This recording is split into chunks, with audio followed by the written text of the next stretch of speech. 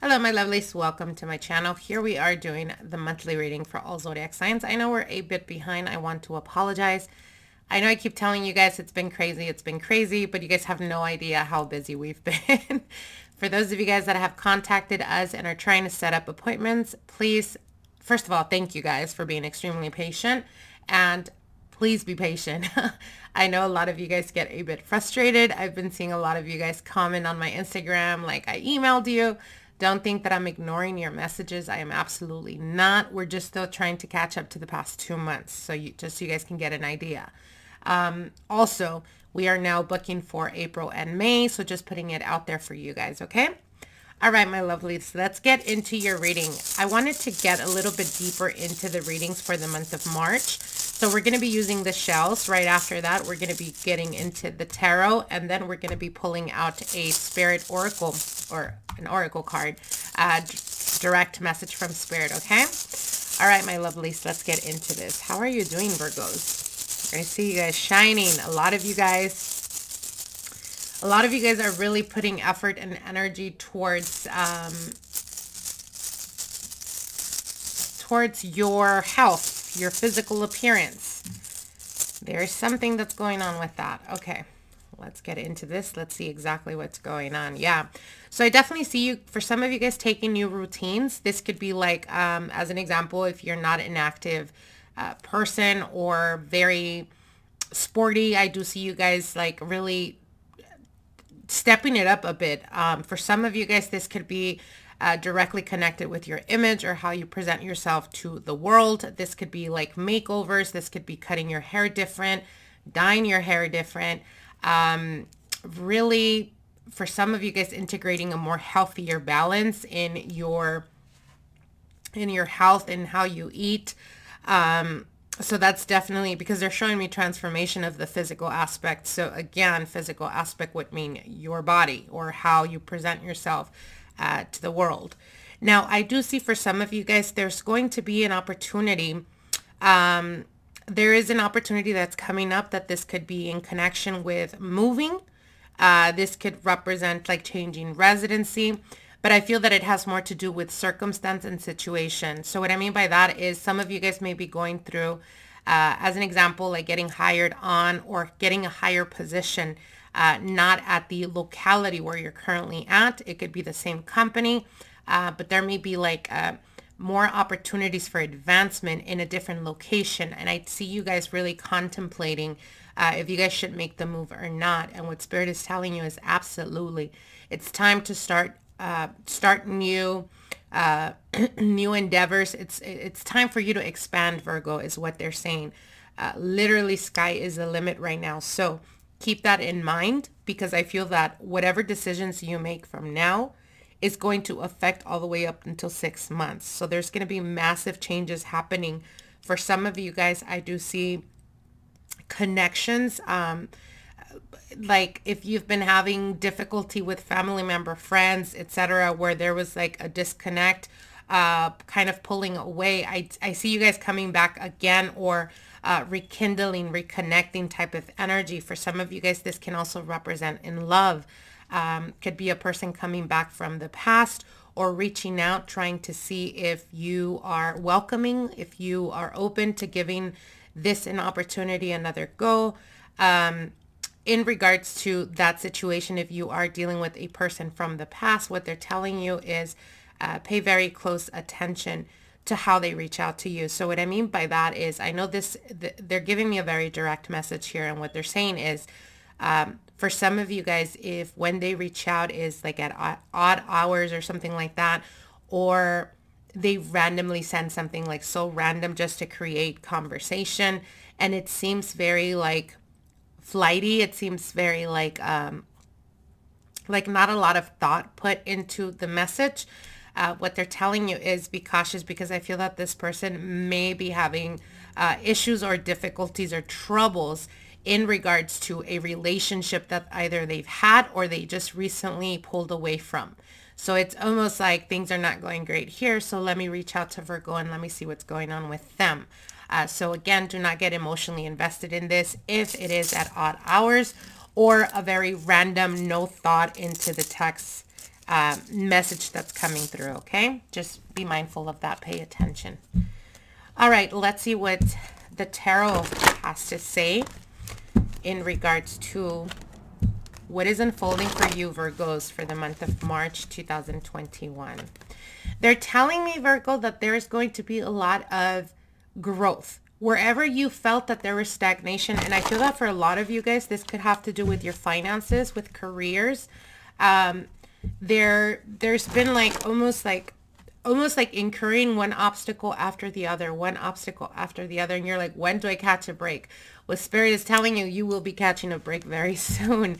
Um, what they're, what they're showing me here is like a door opening. So I definitely see blocks being removed. I see nothing but potential uh, for you guys uh, in regards to career and in regards to finances. So uh, any new things that may start to open up or new opportunities, again, do not hesitate. Take those opportunities. Um, I feel that there's going to be a lot of advancement in this, even if it's like, uh, as an example, career move or a position perhaps that you've never done or that you feel a bit intimidated by. Um, really challenge yourself to to to get up there, Virgo. Like, don't be afraid to shine because uh, you have a very strong work ethic, especially when you guys are extremely passionate about what you're doing. So you literally have no cap. What I mean by that is you literally are the only one that holds yourself back in regards to how high, how far you want to go when it comes to career or to your uh, to your career or to your finances. Okay. All right, spirits. What are the messages for Virgo, Sun, and Rising Venus? Month of March 2021. If you guys enjoyed these readings, definitely comment below, like, share, subscribe um, to encourage us to continue doing these videos. It takes a lot of time and dedication doing these. I don't do them back to back, which is why sometimes you guys will see me wearing different clothes because it's a different day. Uh, we have so many things going on and yeah, so I appreciate you guys and especially those of you guys that have been following me for many years. I've been connecting with so many of you guys through Instagram and TikTok. I am on Instagram, on TikTok, uh, TikTok, Snapchat, uh, Facebook, but uh, not as active as I am on Instagram or TikTok. And I've been connecting with so many of you guys that tell me so many incredible stories, um, how you guys came to my channel, how long you've been following me. Some of you guys three, four years. It's, it's amazing. So thank you guys so much for that love and that feedback. All right. All right, so right at the bottom of the deck, Virgo, you guys have the Nine of Cups. Nine of Cups is a beautiful card. This is a card of manifestation. This is a card of emotional fulfillment. This is a card that carries a lot of wish fulfillment and being able to attain it or being able to experience things synchronizing in your life. Eh, as an example, they're telling me for some of you guys, it could have been like a situation where in the past, perhaps you tried to apply for a specific job, you didn't get that uh, position, perhaps you were offered a lower position, or perhaps you settled. Um, and what they're saying is that that's coming back around. So I see a lot of opportunities that are opening up. But for some of you guys, it could be opportunities that you thought had already passed you by and they're coming back around. And there is a lot of emotional fulfillment here. There's a lot of feeling blessed and counting your blessings. And I love this energy for you guys, uh, Virgo. All right, your first card here is the Three of Wands. So yeah, we definitely have expansion, growth. Um, the Three of Wands is walking towards the Four of Wands. And what is the Four of Wands? It is stability, very strong foundation. So I, see you guys building, I see you guys working towards building something. This could be career, this could be love, this could be romance, uh, connections. For some of you guys, it could be that uh, your circle became smaller and smaller and smaller and you were like you know wow like from 12 people you know it's only nine or, or four or five that hang out now and make effort to be around each other. And what spirit is telling you is embrace that because they're doing you a favor. They're pulling you away from distractions or people that are not good for you and making your circle smaller but stronger All right, your next card here is the Seven of Pentacles. Yeah, so you guys are being able to see the fruits of your labor. You're definitely seeing manifestations, a lot of abundance when it comes to finances, you guys. Um, I think that you guys are going into this cycle where all the work and effort that you put in the past couple of years, you're starting to see all of that unfold. Seven of Pentacles does represent also a person from the past, which is what the shells told us there is a person from your past that may be thinking about you, longing for you, or wanting to reach out. I do see them reaching out. Again, take the messages for what they are. Now, your next card here is the 10 of Cups. Wow. So you guys have the 9 and the 10. A lot of emotional fulfillment. For some of you guys, this could represent starting a new relationship, a relationship that starts off with very strong foundations. This is something that could lead potentially to commitment. So very powerful cards here, Virgo. And your next card is the Six of Cups. The past, past, past. Okay. So they keep bringing up the past. As you guys can see here, we have the Six of Cups. Six of Cups is nostalgia, but it also speaks about uh, a connection from the past, perhaps a connection where you felt very emotionally invested in this individual. Uh, it could have been that distancing was involved. It could have been that circumstances changed. They had to move or you had to move. Um, there was definitely some distance here. And I feel that they tried to move on or they tried to, like I said, um, the shells were mentioning something about uh, them either ending a relationship or walking away uh, or things not going that great. And that's why they're coming back around. And I definitely do see that. But for some of you guys, um, a very small group of you guys. Uh, it could be that in reality, the reason why they walked away from this connection is because they did feel very like you were the one for them, Virgo. And they tried to move on and they just couldn't, or the person they were with would never be, obviously, never going to be you. So I see them coming back around, trying to enter your life, trying to communicate, trying to reach out. Um, Again, take the messages for what they are. So what I mean by that is if they reach out to you and this is a person from the past and someone that you may still have feelings for, um, and they come back around and they reach out to you and they're being very thoughtful or very honest and straightforward with their messages or with the call, um, then obviously you know that it is coming from a genuine place. Now, like I said, if they're texting you at midnight or if they're randomly texting you throughout the day and it's not, it's like, what are you doing or something like that, something that has no meaning behind it, just be cautious because it could be that things are not going great over here. So let me reach out to Virgo. All right, my lovelies? Okay. So let's see exactly what's going on. What is Spirit's message? Direct message for Virgo, Sun, Moon, Rising. Venus for this month of March 2021. Virgos, I see you guys shining. You guys are, I think, one of the signs that is going to have a very, very strong year.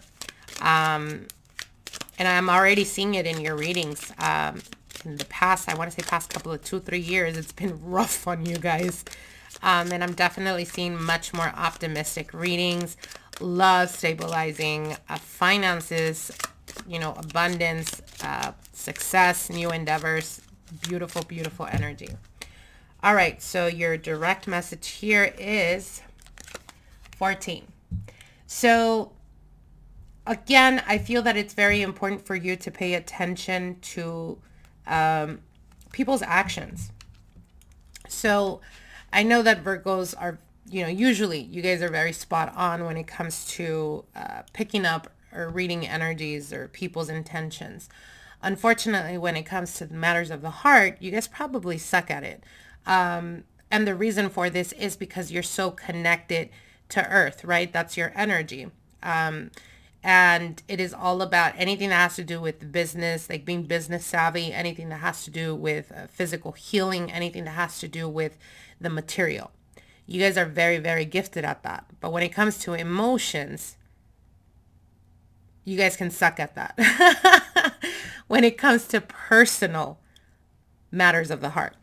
Uh, and the reason I say that, it could be because people give you 30,000 red flags and you're like, well, I'm the type of person that likes to see how red the flags can get. You see what I'm saying? Especially if you are feeling this very deep uh, physical connection with someone. So again, with the number 14 here, it speaks about um, about lies, deception, trickery, uh, self-interest, and it's almost a warning. And what they're telling you is be smart about the people that you allow around yourself. Be smart about the people you invest in. So as an example, if you're going out with friends and it's usually you that picks up the tab, try not picking it up. Allow others to appreciate you as well. And this is in relationships as well. Stop doing and allow other people to show you to step up. Do you see what I'm saying? And sometimes it's not necessarily a bad thing. Sometimes people just get comfortable. The moment you shake things up, they start to, you know, step up step up to the plate. They start doing what is expected or what you're wanting them to do um, in a positive way. It's almost like let people carry their own weight is what they're telling you here. Okay? All right, my lovelies. I hope you guys enjoyed this reading. Like, share, and comment, and we will see each other soon. Bye.